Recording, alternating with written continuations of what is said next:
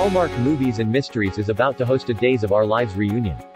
Alison Sweeney and Kristian Alfonso, better known to daytime fans as Sami and Hope Brady, seem poised to solve a suspicious tumble from a cliff, but will they gather the evidence before time runs out?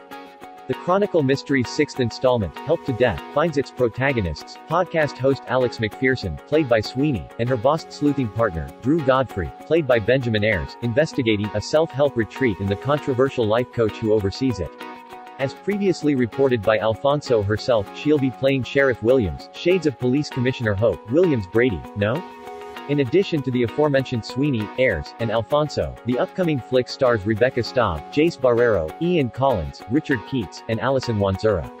Sweeney was the first to tease her collaboration with a fellow Days alum when she tweeted a picture of her and Alfonso on the set of the mystery film with a message, so excited that Kristian Alfonso is able to join us for Chronicle Mysteries movie. Welcome to the Hallmark movie family.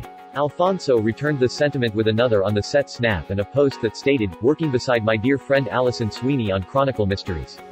The actress subsequently kept her fanbase abreast of the behind-the-scenes goings-on, including a comical tweet showcasing her character giving a fellow player what she dubbed the sideways glance.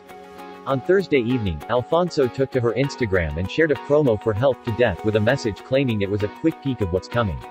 Unlike all the previous entries in the highly popular franchise, Help to Death promises to be a thrill ride from start to finish, so here's hoping that Alex and Drew watch their steps, least they become the next unfortunates to be helped over the edge. Chronicle Mysteries, Help to Death is slated to premiere Sunday, February 21, 2021. Days of Our Lives airs weekdays on NBC. Check your local listings for airtimes.